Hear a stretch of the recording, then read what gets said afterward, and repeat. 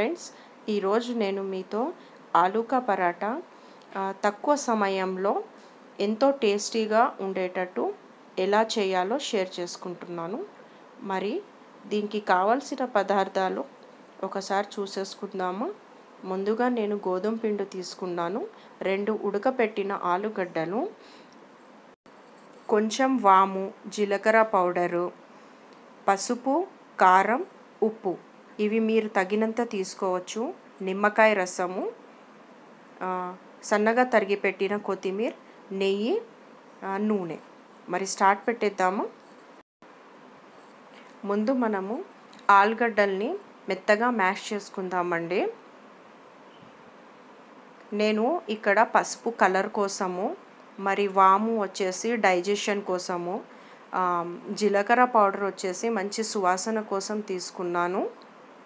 మనము ఆలుగడ్డల్లో ఎంత గోధుమ పిండి పడుతుందో అంతే వాడదాము. నాకు ఇక్కడ రెండు ఆలుగడ్డల్లో దాదాపు లార్జ్ సైజ్వి ఏడు పరాటాలు వచ్చాయండి ఇప్పుడు డ్రై మసాలాలు కలుపుకుందాము.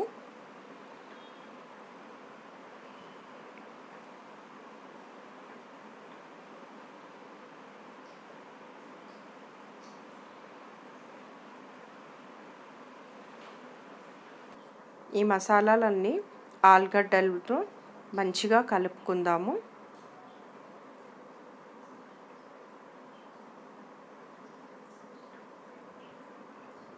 కలుపుకున్న తర్వాత మెల్లగా ఇందులో పిండి యాడ్ చేసుకుందాము.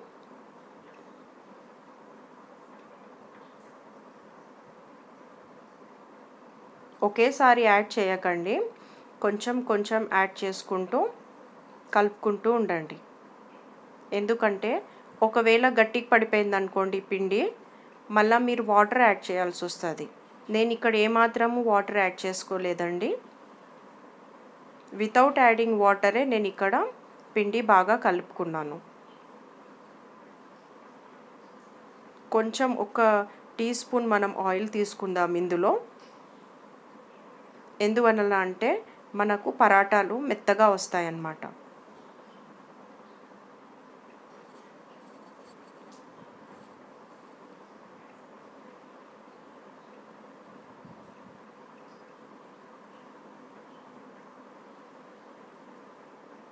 ఇలాగా బాగా పరాటాలకి కలుపుకోండి మీరు పిండి.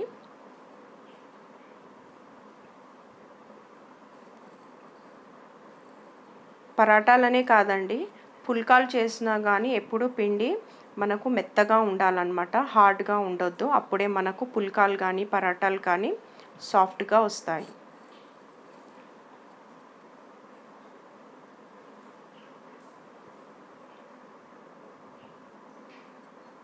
చూసారు కదా ఈ విధంగా ఉండాలన్నమాట.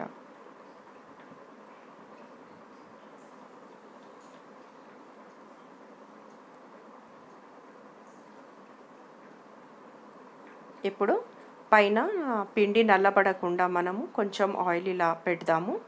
పెట్టి ఇప్పుడు ఒక మూత పెట్టి ఇది ఒక హాఫ్ అన్ అవర్ కోసము మనము పక్కకు పెడదాము. ఇప్పుడు మనము మొత్తం పిండితో ఉండలు చేసుకుందాము. నేను ఇక్కడ లార్జ్ సైజ్ ఉండలు చేసుకున్నాను. నాకు ఇక్కడ రెండు ఉడకపెట్టిన ఆలుగడ్డల్లో మొత్తము ఏడు పరాటాలు అయ్యాయండి. ఇప్పుడు మనము డస్టింగ్ కోసం కొంచెం ఎక్కువగా పిండి వాడదాము. లేకపోతే పరాటాలు మనకి అతుక్కపోతాయి అన్నమాట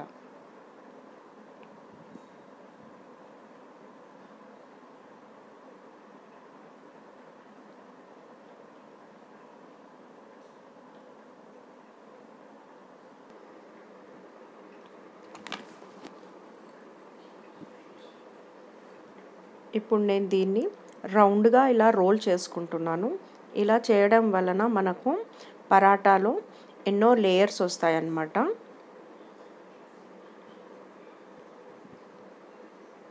చేసి ఇప్పుడు నేను దీనికి పరాటా ప్రెస్ చేసుకుంటున్నాను.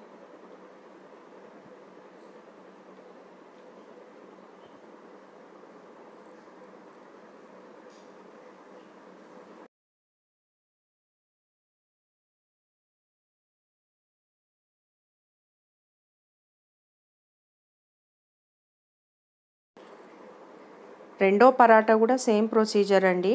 ఒకవేళ మీ దగ్గర టైం లేకపోతే గనక మీరు జస్ట్ స్టెప్ వన్ ఫాలో అయితే చాలు. ఇలా కూడా పరాటా చాలా టేస్ట్గానే ఉంటుంది. ఒకవేళ టైం ఉంటే గనక రోలింగ్ ప్రొసీజర్ చేసుకోండి.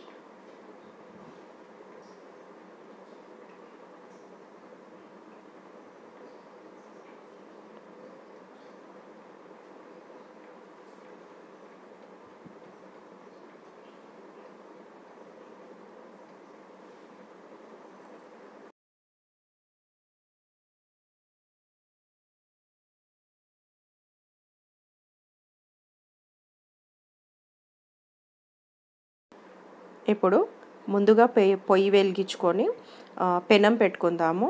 పెనం బాగా వేడెక్కాక మనము పరాటా వేసుకుందాము. థర్టీ సెకండ్స్ వరకు ఇలా దీన్ని పెట్టాలండి.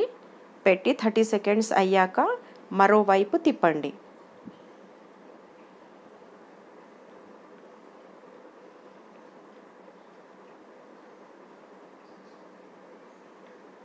ఇప్పుడు ఇటు కూడా సెకండ్ సైడ్ కూడా థర్టీ సెకండ్స్ అయ్యాక ఇంకో సైడ్ తిప్పుకోండి.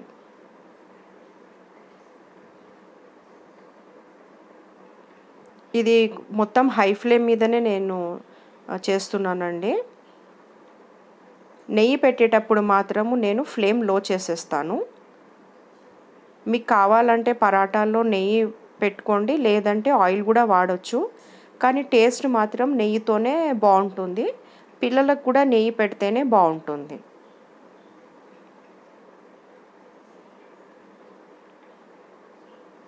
మనకు పరాటాలు కూడా బాగా పొంగుతున్నాయి చూస్తున్నారు కదా మీరు.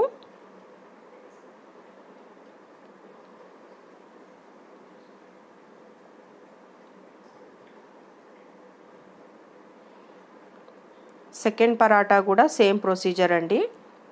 ఒకవేళ ఎవరైనా పుల్కా టైప్లో తినాలనుకుంటే నూనె లేదా నెయ్యి పెట్టకుండా కానీ ఇది డైరెక్ట్ వితౌట్ నూనె నెయ్యి కూడా మీరు ఇలానే చేసుకోవచ్చు డైరెక్ట్గా. మెత్తగానే ఉంటుంది.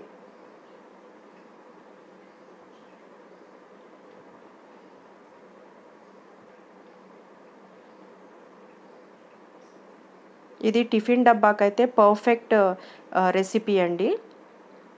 మధ్యాహ్నం లంచ్ టైం వరకు కూడా ఎంతో పరాటాలు మెత్తగా ఉంటాయి అన్నమాట